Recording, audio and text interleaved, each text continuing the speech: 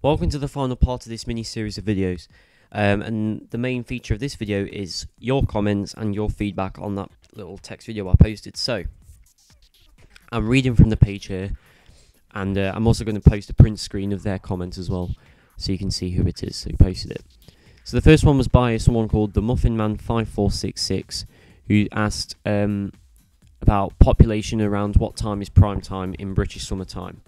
Now, I'd have to say, obviously, I play in British summertime because that's where I live in Britain, and I'd have to say around about from you're talking late evening, so you're talking. I'm going to say around about eight o'clock till about three a.m. I think eight p.m. till three a.m.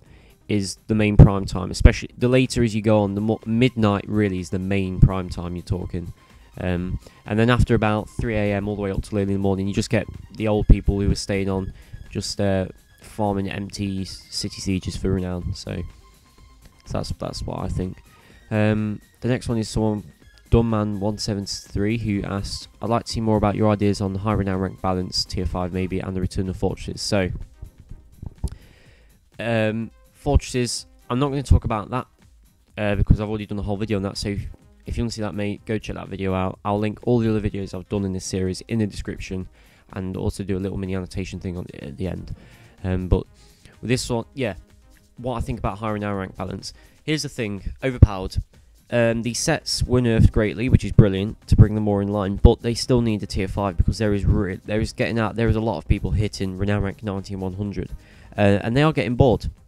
So they, they are getting bored because they are getting bored of farming lobies. They are getting bored of hitting people who can pretty much one shot, and I don't blame them. You know, we need we need something for them. We need something new for them, something for them to do once they hit renown rank 100.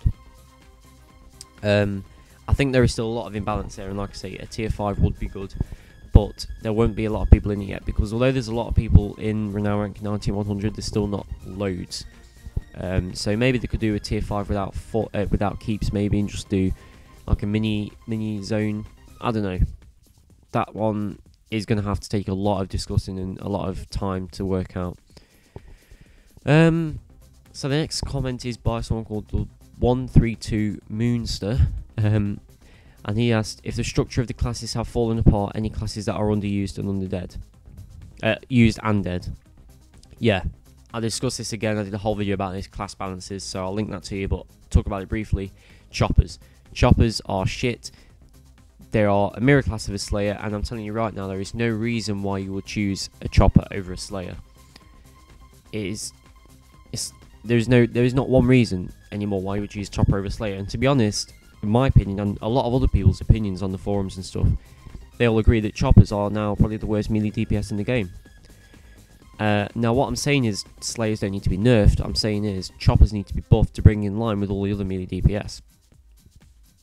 So that's what I that's what I feel. Um, other classes that are under maybe uh, Blackguard. You don't see many Blackguard around, um, but I couldn't really tell you if they're underpowered or overpowered because uh, I've never played a Blackguard. So next question is by um, Bamf five five five zero one two three. Um, and he asked, "What do you think made War to be just another one of those let down MMOs? Why did everyone break away from it within the first few months? And why do you think Mythic let this happen? And do you think Mythic will ever let their mass will ever get their mass amount population back?" Thanks for the bids. No problem, dude. Um, so the reason I think it turned out like this was also the reason why I think everyone left, and that was because when it was released, there was bugs galore in it. There were so many bugs. There was so many features that said coming soon, and they weren't in it, or there were so many features where it was like, oh, this is going to be awesome, and it was nothing. The reason for this is because there was they they released it way too early. They they oh, it, they shouldn't have released it when they did. It was an incomplete game. It was it was still in beta mode near enough. They there was still so many features that they didn't implement. If they waited, if they'd have waited till we're talking at least I don't know, maybe half a year later maybe they could have had a game on their hands and it, it could have worked and it could have been pretty big because Warhammer Online had the potential to be the next big MMO, and I'm not joking here. It really could, and a lot of people who played WoW and stuff also agreed that they thought that this game was going to be the next big MMO, and it could have been. It really could have been if Mythic had just taken a little more time and a little more, put in a little more effort to make it a better and more complete game. It could have been the next big MMO. It still, if they release the game how it is now, it still could be the next big MMO. It's it's got so much potential there. It's, it's such a huge game. It's got so many different things in it. It's got a lot of potential for new things.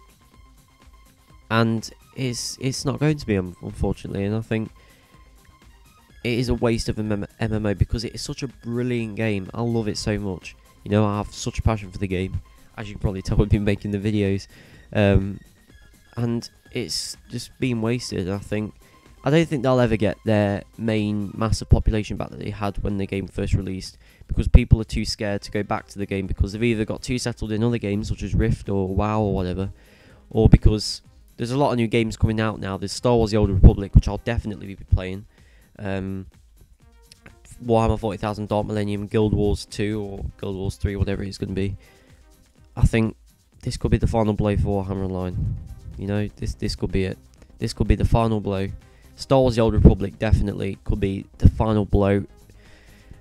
That's really going to reduce the population down in Warhammer 2 dead. I think. Um, I'm not going to stop playing it.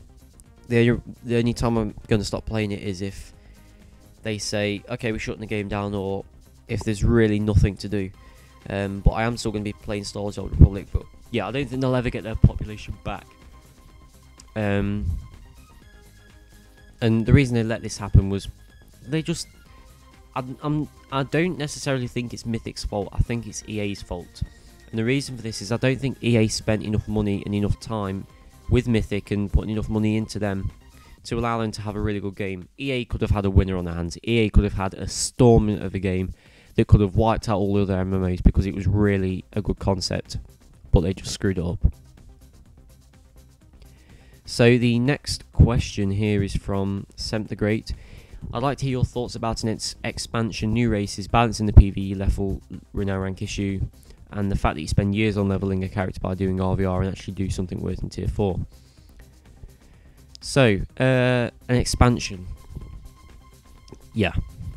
I really like that idea and I think they need to do it. One thing I think they should do was they saying they're saying in 1.4.5 they want to bring out fortresses. Now, I reckon don't bring it out in 1.4.5. Bring it out as an expansion. So say, right, we've got fortresses. Bring out a new zone as well, new scenarios, new classes. Put it all in an expansion you could have a winner on your hands, and I think you could get a lot of people coming back to the game, and that could be something that could not revive your game but boost the population. Um, because you know we're all after new classes, we're all after fortresses, we're all after new content, and an expansion could really do this. Um, the issue with level and renown rank, I think it's fine how it is. Um, although one thing it does piss me off, it does take a while to level your level, level your level. Um, it does take a while to do that because, which is good in a way if you want to get your high renown rank, but once you've hit a certain renown rank, if you want to then ding to tier 4, it takes ages just to level. So, but yeah, thanks for the question. The next one is by someone called God of Orcs, and he said if they can, if they can't fix the population across the servers, will will they make one Euro on one North American server? Not just yet, and I can't see that happening for a while. The only reason is is because there will be too much lag. Um, you know, Mythic haven't got the money in EA, believe it or not. Well, they probably have got the money, but they just won't be, haven't got the, the brains to put the money into the game. Is to make a huge server to to co- to compensate for that amount of players. I mean, there is a lot of if you go on Carrick Asgard and Carrick Norden, you put all those players in one zone. Just say just on Carrick Norden, if you put everyone in one zone, the server does crash. Okay, so merging the two servers together will just be catastrophic. It will be good because there'll be more people and more scenario pops, which is always good. Downside is the server will crash 24/7. So yeah, that that would be bad. I think when the population gets even more less, you know, I think after Star Wars: The Old Republic, if they do really do lose a lot of players, doing that would be the smart idea. Uh, the next question is by someone called CTS53. Well, I'm pretty sure you remember the, my idea for an expansion. I would like to hear your thoughts on what Mythic would, could do to bring war into a major population of PvP lovers' radar. Uh, to a major portion of PvP lovers' radar. Also, if they were to add other classes, what would you like? Well, let's talk on the classes thing first. I think I'd like to see Chaos Demons. Um, and also maybe Bretonnia. They're, they're kind of cool. Um, because I think they need to tie into the storyline. And looking at all the, the armies within the Warhammer lore, I'm going to go through them all. There's, there's Beastmen, Bretonnia, Demons of Chaos, Dark Elves, Dwarfs, High Elves, Lizard Men, Ogre Kingdoms, Orcs and Goblins, Skaven, the Empire, Tomb Kings, Vampire Counts, Warriors of Chaos, and Wood Elves. And Breathe. Um, so, there is a lot of choice to go from. So, I, I mean, Beastmen really could be kind of cool. That could be kind of cool. There is a lot of classes to choose from. I don't necessarily what I'd like know what I'd like now. In the future, maybe yeah, I definitely. That there is a lot of. To be honest, I think I'd like any any class would be good because they really need some new new stuff in there. Um, touching on your thoughts of what was this, uh, what Mythic could do to bring war back into a major portion of PvP lovers' radar. Um, doing what they're going to be doing soon in 1.4.5, um, which is bringing back fortresses, uh, new content, new scenarios, making the, the campaign even better. Um, but I think a lot of people are pretty reluctant to come back to the game and try it out because I think it's going to be a waste of money. And I honestly don't blame them for not doing that. Um, which is why I do these videos is because to spread the word of what Warhammer Online is like now, what so people get a good idea of what it's like before they can renew the subscription. Um, Next question is by Taylor Vincent, and he asked, I'd like to hear about the high renown rank plays balance versus lower ones. I already touched on that, so I won't talk about that. Um, if I think Mythic released a game as Windows and Mac compatible, would it have had a larger player base these days? Yes, but I don't think we'd see a, a huge increase in population because um, not a lot of people buy Macs to game on. But there, there will obviously there will be an increase, but I don't think there will be a major, like a noticeable increase. Um, it is already on Mac anyway. It is on Mac. Um, oh, sorry, you mean if the released games? Um, yeah, again, like I say, I don't think they would have noticed it on release if they made it back. Um, there would have been a population increase, but not a noticeable one. So, um, so the next question is, let's have a look. Uh, where are we? iFlesh works, and this is, in your opinion, is it worth subscribing to again? Pretty simple question. My answer is, if you've got, if you've got characters that are already there waiting to be played on, so not don't. If you've got like a level 40 character there or a level 30 character, then yes. If you haven't got any characters, wait until 1.4.4 comes out, which is going to be pretty soon. They're saying August, so um, and the only reason I'm saying this is because it does take a while to level up. Um, not your renown rank, but your actual level. So it is worth subscribing to if you've got characters to come back to because there are a lot of changes, and I think a lot of them you might like. So, so that's my opinion on that one. And uh, that was it. So thank you very much for your comments. There wasn't too many, which is actually makes my life a lot easier because um, there's not many to go through, and it cuts down the time in this video, which is kind of good.